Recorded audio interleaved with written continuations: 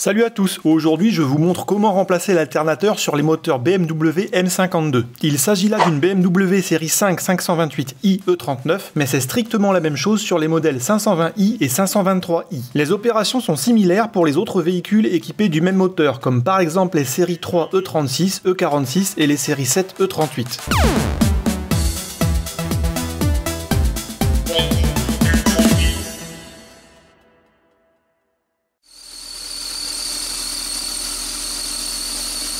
Voilà pourquoi je souhaite déposer cet alternateur. Il queen et il siffle, bien qu'il charge correctement la batterie. Je vous montre maintenant comment le déposer et le reposer. En fin de vidéo, je vous montre comment être sûr qu'il fonctionne bien une fois reposé. Avant toute chose, débranchez le pôle moins de la batterie. Donc pour déposer l'alternateur, on enlève d'abord le conduit d'admission d'air. Et pour déposer le conduit d'admission d'air, je vous invite à aller voir ma vidéo où je change le câble d'accélérateur. Le lien est en dessous dans la description.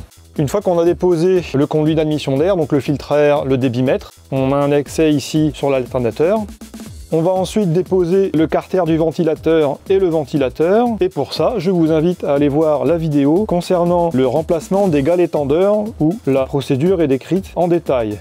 Moi, je vous montre ça ici en accéléré.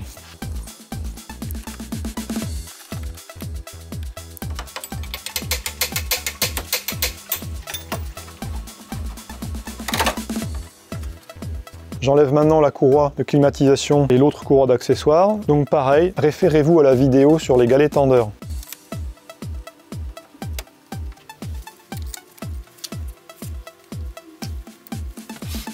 Voilà, les deux courroies sont enlevées. On va dégager le bocal de liquide de direction assistée, mais on ne le débranche pas, c'est juste pour l'écarter. Donc c'est deux écrous de 13. Pour pas perdre les vis, je les remets simplement au même endroit. Alors ici j'ai un tuyau d'air qui permet en fait de refroidir l'alternateur pendant son fonctionnement. Donc je l'attrape et je le pousse vers le bas. Simplement le déconnecter. Voilà, c'est tout. Alors juste pour vous montrer avant de l'enlever, je le fais tourner à la main. Écoutez comment ça siffle.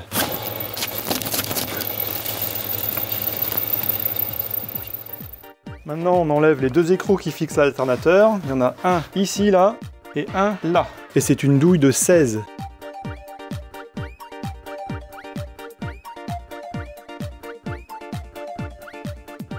Voilà, donc la vis, je la remets à son emplacement, comme ça je la perdrai pas. On regarde si ce sont les mêmes. Non, ce sont pas les mêmes, donc la plus courte, elle est en haut. Il ne reste plus qu'à le dégager, il vient en tirant.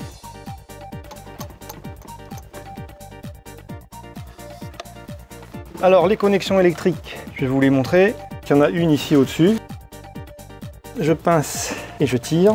Et là-dessous, il y a le fil rouge. Donc j'enlève ici le caoutchouc. Et il y a un écrou à enlever. C'est du 13. On les serre. Voilà.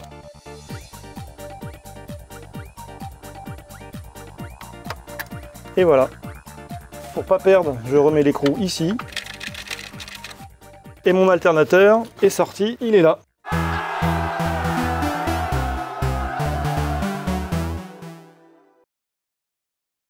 Bon, notre alternateur, là, ça y est, il est rénové. On va pouvoir maintenant le remonter dans la voiture. Je vais d'abord nettoyer le conduit qui permet d'aérer l'alternateur, là, ici, parce qu'il y avait beaucoup de choses dedans. Donc, c'est parti à la soufflette.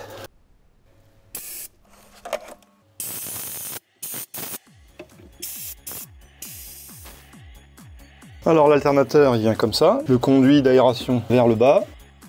Je remets d'abord la connectique électrique. On sert bien le connecteur 12 volts, parce qu'il y a du courant qui circule là-dedans.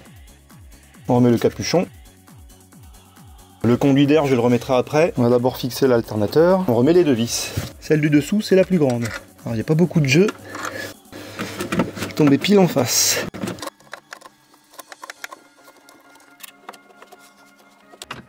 Voilà, elle est passée. Je serre la vis du bas, pas complètement, on serrera les deux à la fin. Ça commence à serrer, je remets ma vis du dessus, et voilà. Donc celle du dessus, je redis, c'est la plus courte. Les écrous de l'alternateur, je vais mettre 60 Nm, comme ça j'aurai un couple de référence. Et il reste à mettre le conduit ici. Et je peux replacer le bocal de liquide de direction assistée. Donc maintenant je remonte les deux courroies et le carter de ventilateur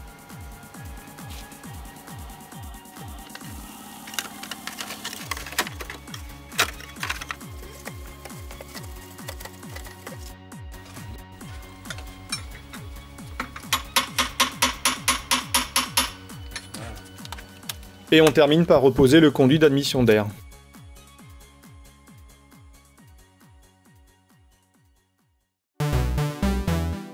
Ça y est, c'est le grand moment, je vais pouvoir redémarrer la voiture. On n'oublie pas de rebrancher la batterie. On va regarder deux choses, les bruits d'abord, mais aussi la tension ici pour voir que la batterie se charge bien. Donc là on a 12,65, ça veut dire que la batterie est bien chargée, mais ça doit augmenter une fois qu'on démarre. Allez, c'est parti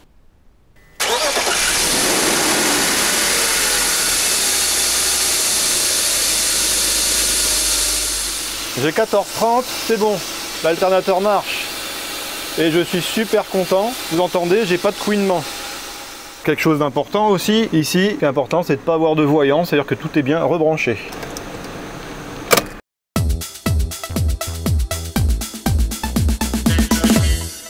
Voilà, cette vidéo est maintenant terminée. Si elle vous a plu ou été utile, n'hésitez pas à la partager, la commenter, à mettre un pouce ou à vous abonner. Et à bientôt sur Enjoy Wheels.